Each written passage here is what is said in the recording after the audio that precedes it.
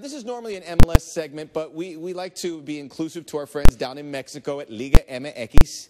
Tigres, the reigning champs, are on a tear. They beat Pumas. I love saying Pumas. 4 a 0, 4 to zip. Jurgen Damm, he's excellent. So he scores his second goal in this game.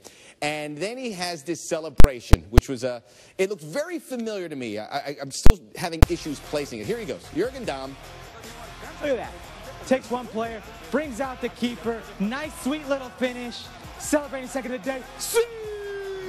What? That's Celebrates so... like Cristiano. That's Cristiano, is that, right? Is that where I've seen it? But he doesn't look. He doesn't look like Cristiano. sort of does. Let's Wait. see. Is that Cristiano-esque? Oh yeah! wow. You can see the muscle sinews on Ronaldo. There's just one difference there. There's one. Uh, there's, a little, there's, a little, bit of difference. Someone's been in the gymnasia, and the other one has not. A little bit of gym work for the guy on the I left. I can't stop staring at that uh, split screen. What a... Oh, sorry. So you want